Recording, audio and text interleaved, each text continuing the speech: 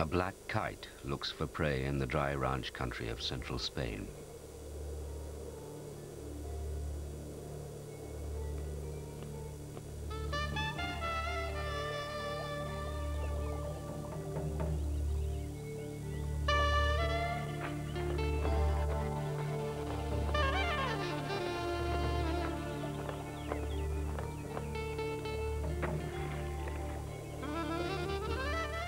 Black kites usually scavenge and hunt on dry land, but in the heart of Spain, the water often harbors much of their prey. It also conceals some of the area's most sinister predators.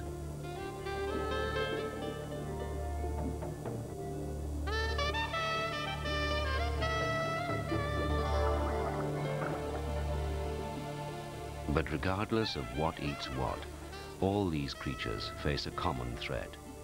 The pools can disappear.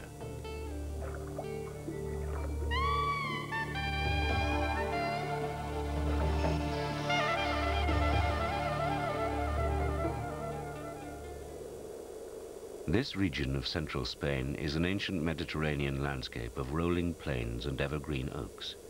The Spanish call it dehesa. The trees are vital to the area. They help to retain moisture in the gasping summer heat. Dehesa agriculture is basic. The bark is stripped from the cork oaks every seven years to make corks for wine bottles. This doesn't damage the trees, which are hundreds of years old.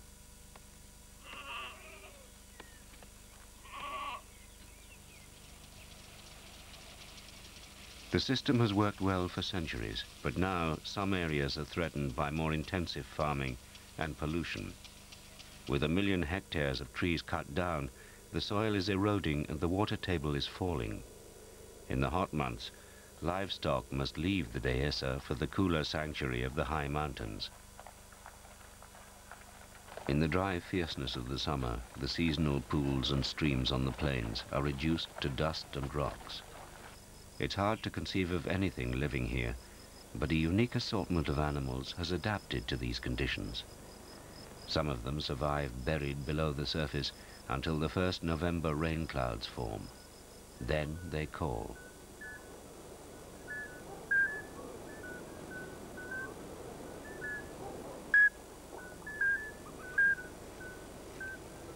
A male midwife toad has dug his way up to the surface and attracted a mate. Now clasping her round the waist, he rubs his toes against her belly so that she releases eggs. The toads are the size of a coat button and they break several amphibian rules. They mate on dry land, for one thing. This gives them a head start over others which have to wait for the pools to form, and that won't happen for a couple of weeks.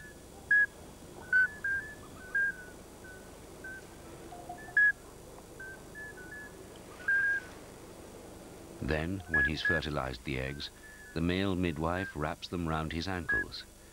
It's very rare in nature for the male to leave holding the babies.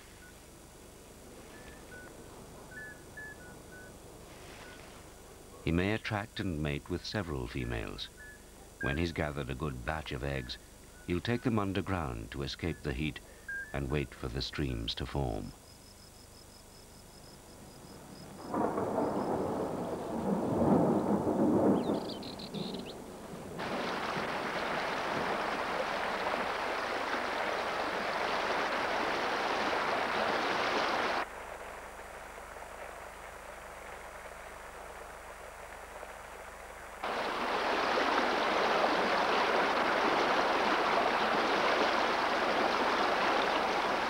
In November, the watercourses come to life again, and where they flow into the flatter areas of this rolling country, they spill out to form great pools. Overnight, these fill with hundreds of different amphibians drawn from the surrounding countryside.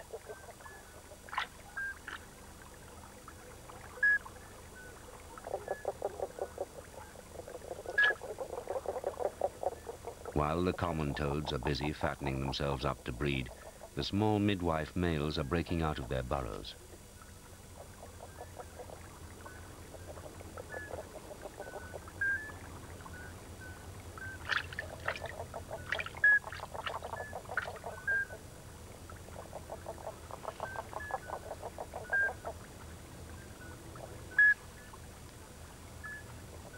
The midwives are at least a fortnight in front of everyone else, and when they're sure that this is no flash flood, and the pools are here to stay, they leap down to the water. The males can feel the tadpoles are wriggling to get out.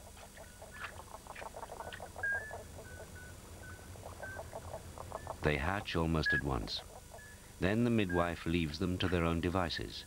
They're already large when they hatch and need to grow fast before the predatory newts arrive.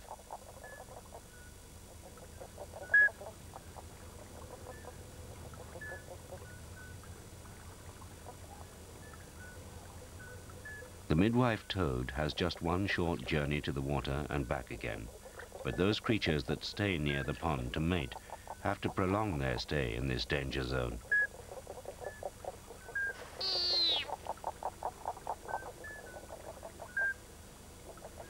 A spadefoot toad has been surprised by a water snake. Most toads have poison glands to deter predators, but the spadefoot's venom is not very effective and its main defense is to inflate its body with air. But the snake can get round this by dislocating its jaw. Also, left and right sides of the mouth can work independently, slowly but surely enveloping the prey.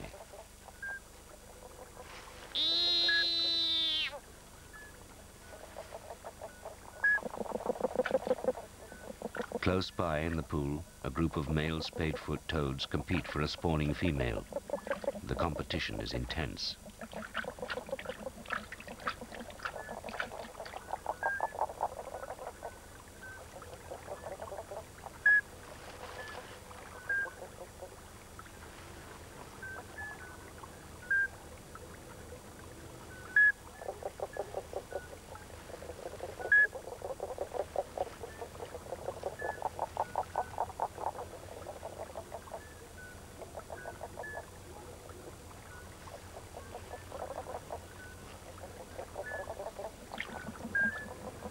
The spadefoot strategy is to produce many eggs.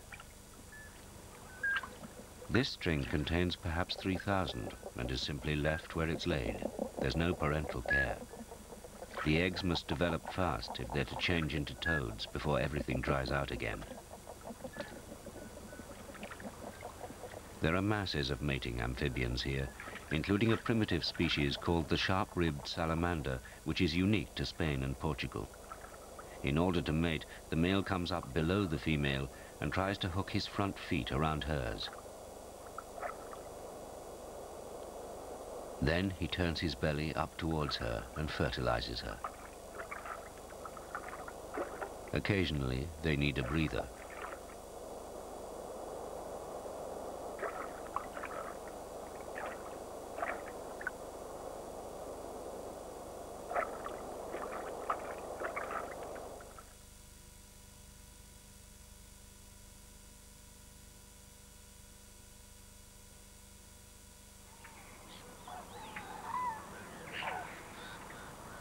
In places on the Dehesa, uh, the watercourses have been dammed to save every last drop of autumn rain. The Romans were the first to do this when they occupied this area 2,000 years ago. They also stocked the dams with carp and perch, and their descendants are still here, attracting fishing birds like these black storks.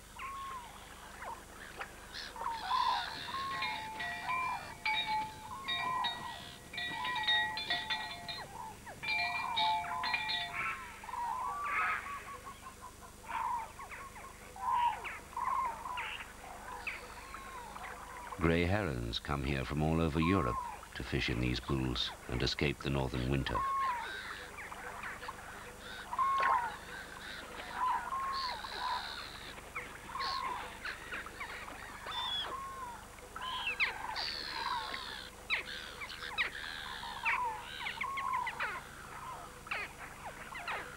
Black storks must be among the most beautiful of all fishing birds. This is the only place in Europe where they live permanently, and there may be no more than 80 birds altogether. Their close relatives, the white storks, are much more common because they seem to tolerate people, but the black storks are shy and seemingly unable to get on with 20th century man. They stir up the water with their bills and feet until they see or feel a fish.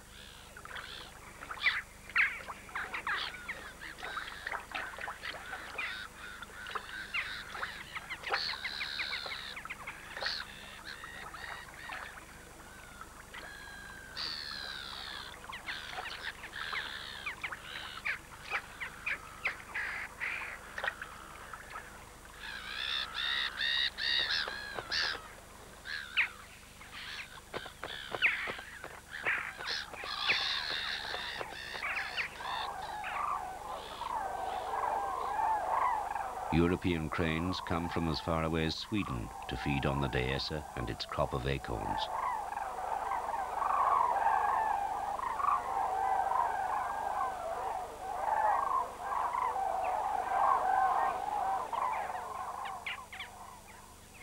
After Christmas, the landscape is green and bright with the yellow flowering broom.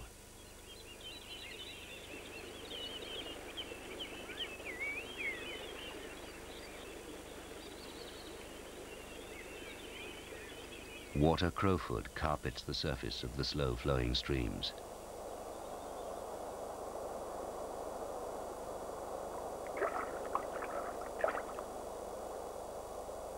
It's now the marbled newts are drawn to the water.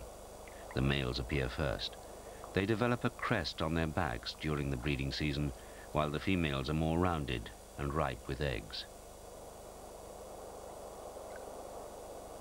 Newts spend most of their lives on land and are air breathers. The male takes a large gulp before he embarks on his courtship, which is more sophisticated than the rough and tumble of the sharp-ribbed salamanders.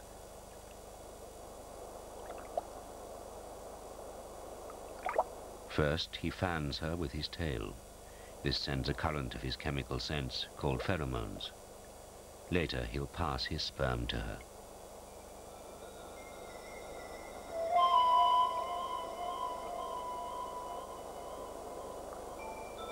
When she moves towards him, he knows she's receptive.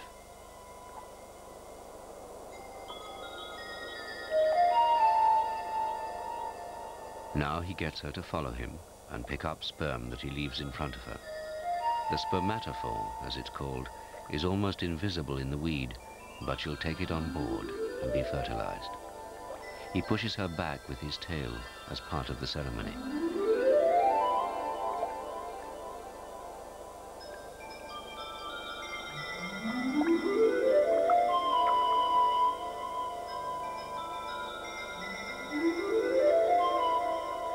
A day later, she'll begin to smell leaves to see which one is suitable for her eggs.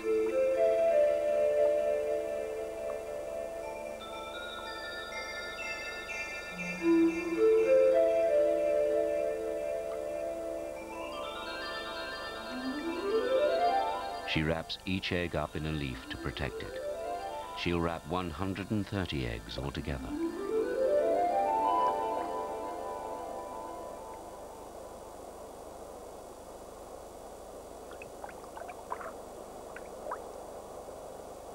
Towards the end of winter, a new sound floats up from the streams and pools at sunset.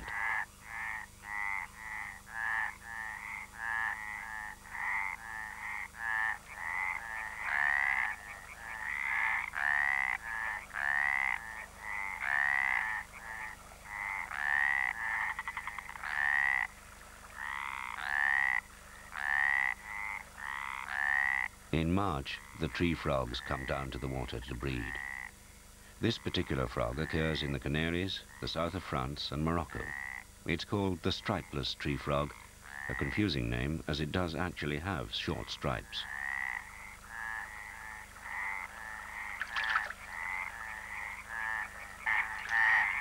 There are Peretzi's frogs here too. The males fight each other in between calling for mates. They have two vocal sacs and quite complex calls.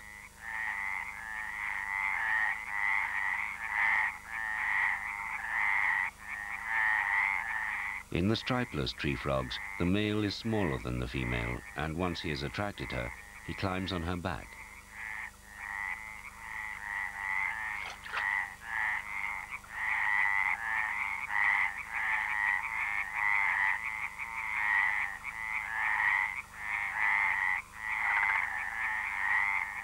This is the moment of fertilization.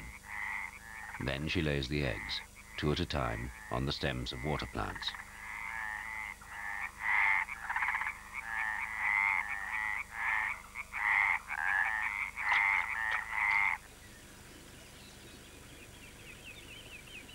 By May, the watercourses are warming up, and now that the amphibians have spawned, it's time for several of them to leave. The marbled newts will continue their land-based existence until the heat drives them into summer dormancy. In the meantime, below the surface, the tadpoles start their hazardous passage to adulthood. The midwife toad's tadpoles were the first into the water and are a good size now. But the spadefoots are doing well too. They hatch later, but grow faster, so the two are roughly the same size at this stage.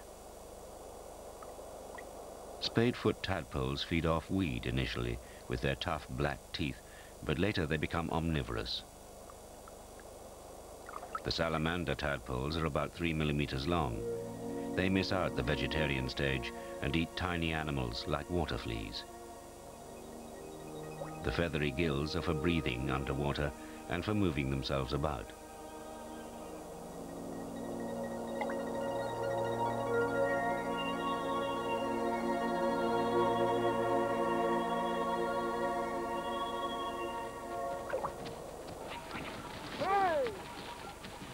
In mid-May, there's plenty for everyone to eat on the Dehesa, and showers of spring rain are on the way, which will temporarily replenish the streams.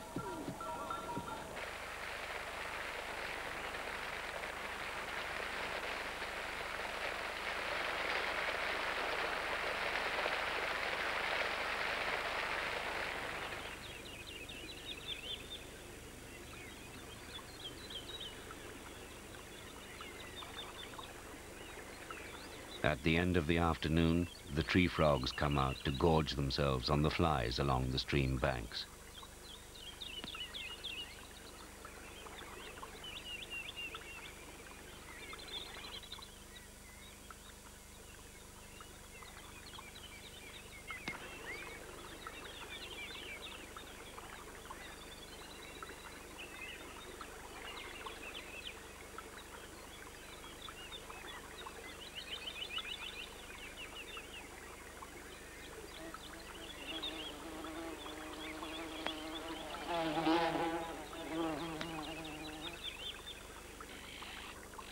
Another waterside feeder is the azure-winged magpie.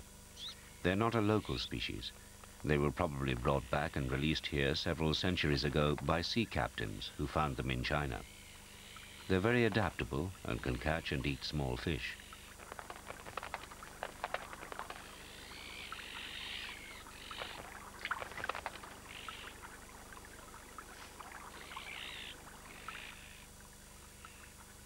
These striped-necked terrapins are warming up before returning to the pond to feed on tadpoles.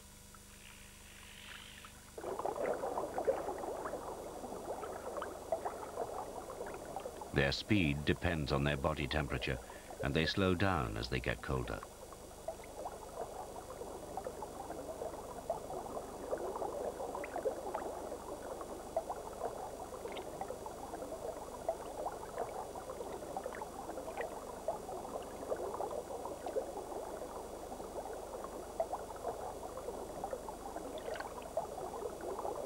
The European terrapin is both a scavenger and a hunter.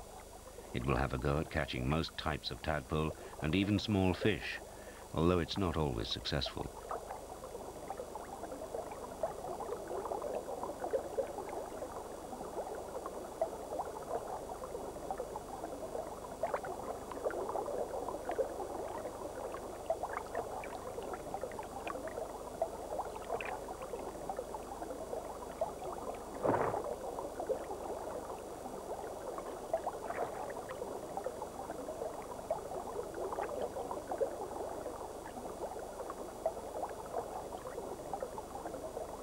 It's a tadpole hiding among the rocks that finally falls victim.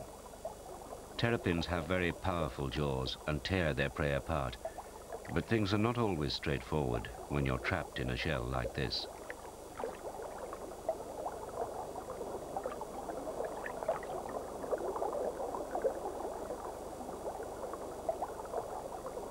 The tadpole's most sinister enemy hunts in another part of the pool.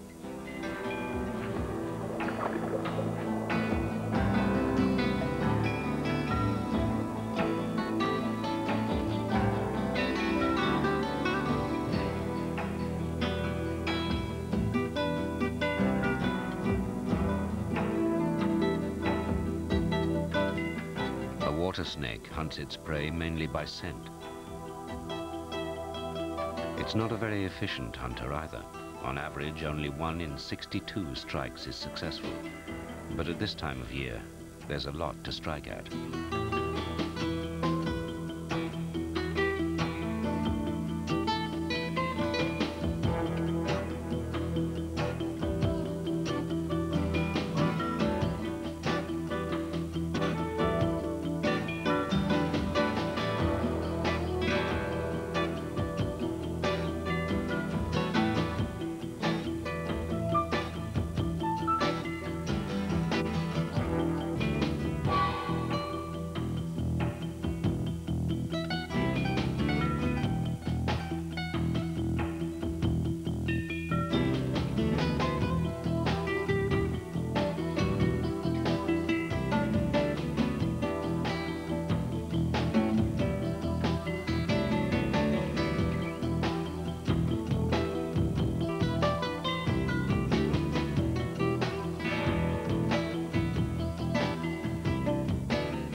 Snakes prefer soft-bodied tadpoles to fish, and many a tadpole meets its end in these jaws. Amphibians lay many eggs and can afford to lose a proportion of their young. The tadpoles grow fast. Enough make it through the minefield of predators and out onto dry land. But they've all got to leave soon. The pools are about to vanish.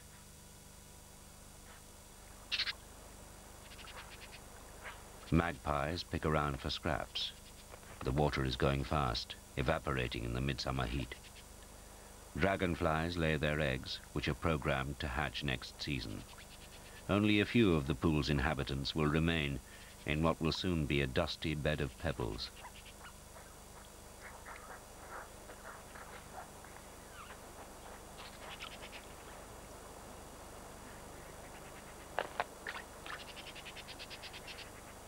In one of the last pools, a solitary terrapin takes a final look around. Any day now, it will have to find a burrow on dry land in which to pass the long, parching summer.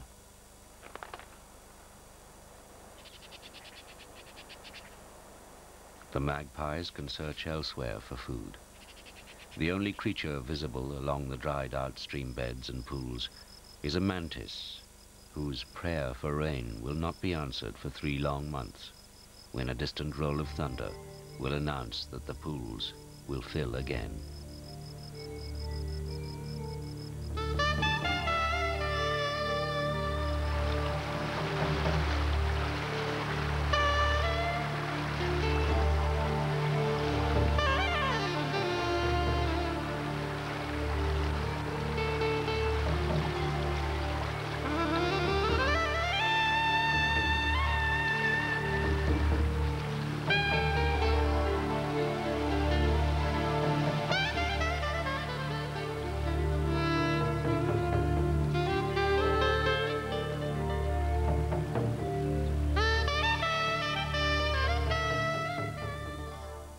The last of the series next week profiles half goat, half antelope, the chamois, better known as the cloth for cleaning your car windscreen.